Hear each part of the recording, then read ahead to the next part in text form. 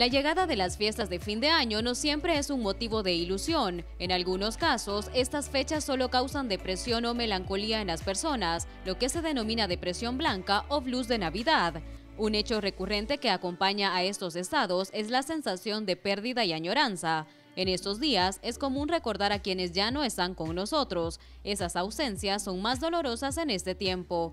Algunos de los síntomas de la depresión blanca son incremento de los pensamientos, pérdida total de interés en las fiestas de Navidad, el pensamiento negativo y catastrófico se eleva, la persona puede no dejar de pensar en quienes ya no tiene a su lado, en recordar a sus seres queridos que ya no están, problemas de concentración entre otros.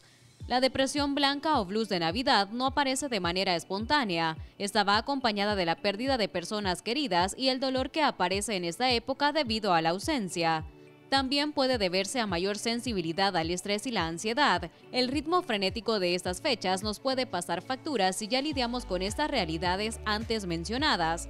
Atravesar por un momento económico complicado puede hacer que vivamos esta festividad con pesadumbre. Si consideras que tú también estás atravesando por la depresión blanca, te aconsejamos que no hagas nada de celebraciones si no lo quieres. Date instantes de calidad haciendo lo que te gusta, racionaliza tus pensamientos y sé positivo.